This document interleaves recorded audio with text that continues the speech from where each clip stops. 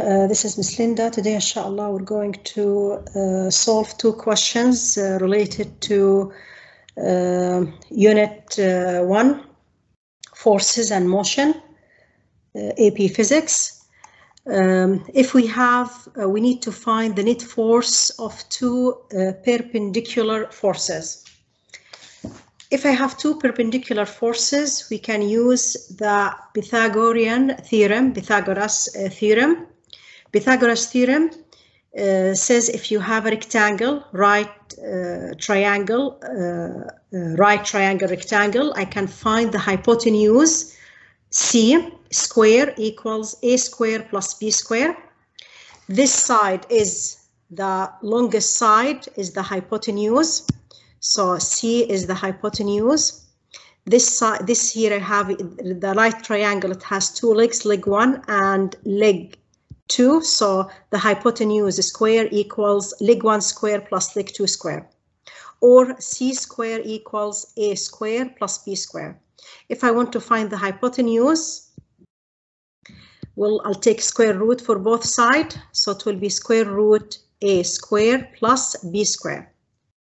Okay, how can we find the direction? We're going to use the tangent. So to find the direction, always we need to find the angle. So the angle theta will equal tan inverse opposite over adjacent because tan equal opposite uh, opposite over adjacent. If we take this theta, so the opposite of this theta, it will be this side adjacent to this theta, the side that is really close to the angle is this side. Type, how about if we take this theta, this angle here, in this case, I will have different scenario if the angle is there, if I take this angle, in this case, this will be the adjacent and this will be the opposite. This is right uh, angle. How can we find the direction? Direction, if the angle, if we measure the angle from here, between north and east, and east if the angle is here so it will be north of east because we're measuring it from east. How about if this angle if we measure it from north? So if we take the angle from north so it will be east of north. Similarly if the angle is between west and north so if I take this angle I measure the angle from west so it will be north of west north of west if we measure it from north, so it will be west of north. Okay, let's start with this example. And remember, always write the given, draw, and write the formula substitute. So we have a gust of wind plus an apple from a tree. As the apple falls, the gravitational force on the apple, the gravitational force on the apple is 2.25 Newton downward. So this is the first force and the direction of this force is downward. So I have an apple. The apple is falling down. The apple is falling down. Let's do it right here. The value of this force is the force of the gravity and this force equals since is down. It will it since is down it will be negative 2.25 in newton. Okay up is positive down negative. Right will agree positive. Left will agree is negative. And the force of the wind on the apple so I have another force of the wind or air to the right. So from the end of the first force, we're going to draw the second force. So the second force from the head of the first force, the arrow of the first force, I'm going to draw an arrow a little bit shorter. This arrow is 1.05, you can use a ruler, okay, 1.05 to the right. So this is the force of wind, it's positive, right is positive, it will be 1.05 in Newton. Find the magnitude and the direction of the net force. So I need F net. I need F net. How much F net? From where we start, this is the starting point, and this is the end point. We're going to draw an arrow, and this arrow will represent the resultant force, or the net force, we can call it Fn, or FR, resultant force. And since down and right, they're perpendicular, so we're going to use Pythagorean theorem. So F net will equal square root negative 2.25 square plus 1.05 square. And this will equal 2.48 in Newton. Now we need to find the angle. The angle, it depends on the question. If ask me in the question, find the angle, uh, this angle between uh, north and the hypotenuse or this one. So if I choose this angle, let's, let's, let's calculate both of them. I'm going to take this one, theta. I'm going to call it theta 1. All is correct. Now this angle, here I have down, down is south, to the right is east. Okay, so the angle theta will be tan inverse opposite over adjacent. And that will equal tan inverse opposite, side opposite to this angle is 1.05, 1.05 over the adjacent is negative 2.25 and tan inverse, I have 1.05 divided by negative 2.25. This will give us negative 25 degree. Negative it means is downward. And I measure this angle from where? From south. So it's between south, south and east so it will, and I measure it from south, so it will be east, east of south, east of south.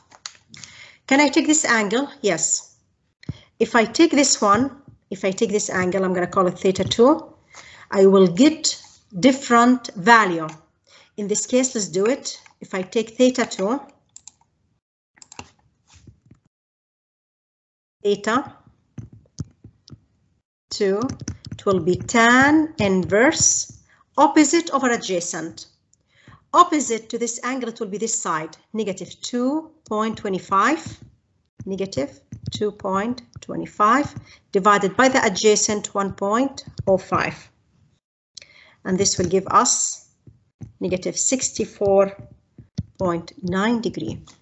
Now this angle, I measure it from where? I, I measure this angle from, from south. It between south and east, so it will be east, so it will be south of, I measure it from, from the east, from here, from the east, so it will be south of east. South of east, because I measure it from east. The measurement is from this side toward the east. This angle, I measure it from the south, so it will be east of south. Let's take another example. I have a wind. The wind exerts a force 452 north, north on a sailboat. So here I have a sailboat, any, any object, either you draw it as a small box or um, small point, a small circle. So here, here is I have a sailboat and there is a force toward, this force toward north. The value of this force, this is the force of wind. It's 452 in Newton, while the water exert a force 325 west on the sailboat. Always the second force draw it from the head of the first force. The head of the first force is this one, so we're going to draw the second force here toward the west in this direction. The value of the arrow will be a little bit shorter because 300 is less than 400. So this is 325 and this is force of water in Newton. Now remember, I have north, down, south, here, east, and this direction, west. So this direction is west. From where we start, this is the starting point, and this is the end point. This will be the resultant or F net, and these forces, they're perpendicular. So I can use the Pythagorean theorem, find the magnitude. F net will be square root. This one, it will be negative because west is negative. Positive, negative, positive, east, west, negative. So 452 square plus negative 325 square and this will give us 557 Newton. I need theta. I need theta. It depends which angle. If I uh, suppose I take this angle, this one. So it will be theta will equal tan inverse opposite over adjacent. Opposite to this angle is 452. 452. The adjacent is negative 325. And this will give us negative 54.3 degree. I have to specify the direction because forces is uh, is uh, is uh, um,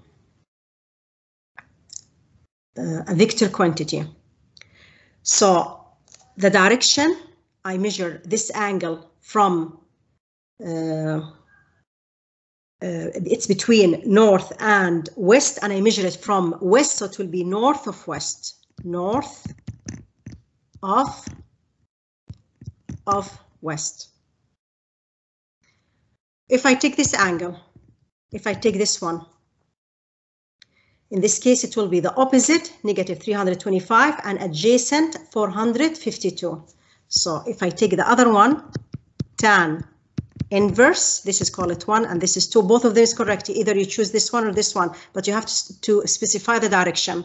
So it will be tan inverse negative 325 divided by 452 and this will give us negative 35.7 degree. Negative, okay, and in this case it will be west of north west of north. That's it.